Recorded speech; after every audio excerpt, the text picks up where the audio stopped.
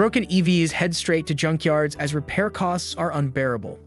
Have you ever thought about why so many broken electric cars end up in junkyards instead of being fixed? There may be a hidden crisis in the EV business because of how hard and expensive it is to fix these high-tech cars. Come with us as we reveal the shocking truth about why the cost of fixing electric cars are going up so fast and why many owners decide it's better to give up on their eco-friendly rides. Are you ready to find out what really happened with the EV fix problem? Watch out to find out. A lot of key regions all over the world are already experiencing decline in the number of sales of electric cars.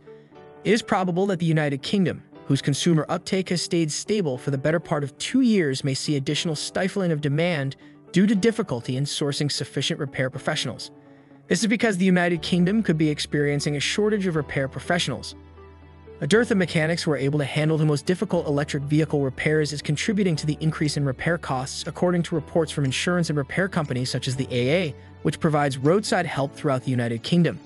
This shortage is one of the factors that has contributed to the rise in repair costs.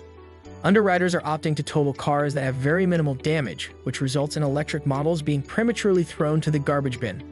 This is because underwriters are choosing to incorporate costs such as lengthy wait periods for replacement parts in their calculations.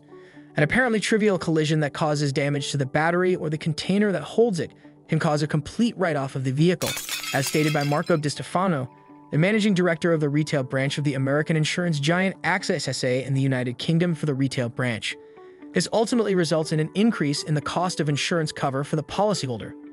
In the United Kingdom, there are 236,000 car mechanics, and the Institute of the Motor Industry, which is responsible for providing training and certification, reports that much fewer than 10% of these mechanics are qualified to work directly on electric vehicle batteries or their casings.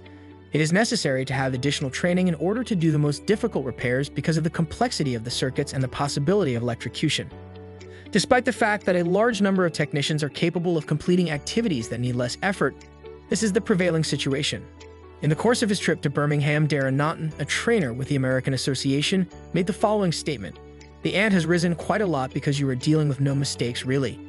In the context of these systems, death occurs automatically and without delay. It has been discovered by Thatcham Research a business that is situated in the United Kingdom, that drivers are also concerned about the prospect of an electric vehicle being written off in the event of a collision. There are a number of problems that are preventing the demand for environmentally friendly autos from being fulfilled, as shown by a poll that was conducted and published in the previous year. These concerns include extensive lead times for deliveries and a lack of charge points that are operational.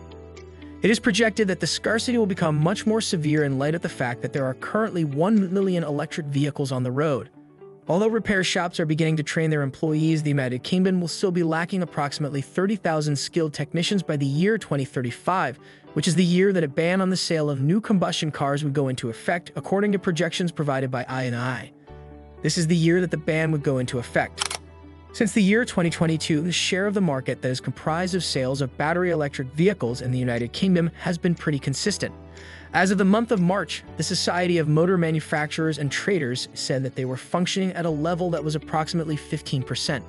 According to a study that was published by Bloomberg in January, the premiums for insurance for conventional autos are twice as costly as those for hybrid automobiles. The decision of whether or not to repair or replace a car following an accident, which was formerly a straightforward one for insurers to make, is increasingly being influenced by variables that were not previously taken into consideration. Because it takes longer for replacement parts to arrive from overseas, the period of time that damaged cars are unable to be driven is increased, and the cost of auxiliary services, such as car rentals, is increased as a result. There was a training session for electric vehicles that took place at the technical training workshop that the AA held in Birmingham. There was a training session for electric vehicles that took place at the technical training workshop that the AA held in Birmingham. This is the BLO and BRG. In the event that the damage is not severe, the insurance company will typically assume possession of the vehicle and either destroy it by breaking it up into pieces, scrapping it, or rebuilding it and selling it again. Where the settlement cost is equivalent to or more than the value of the car, this is the situation that arises. As stated on its website, the vehicle dismantler Synetiq in the United Kingdom has reported a 55% increase in the number of electric cars and vans that it has disposed of over the course of the previous year. An enterprise that has been formed is responsible for recycling battery materials that are considered to be expensive, such as lithium and nickel. High repair costs have been a problem for electric vehicle manufacturers like Tesla for a considerable amount of time. This is because electric vehicle manufacturers do not have the same specialized service network that traditional automobile manufacturers do.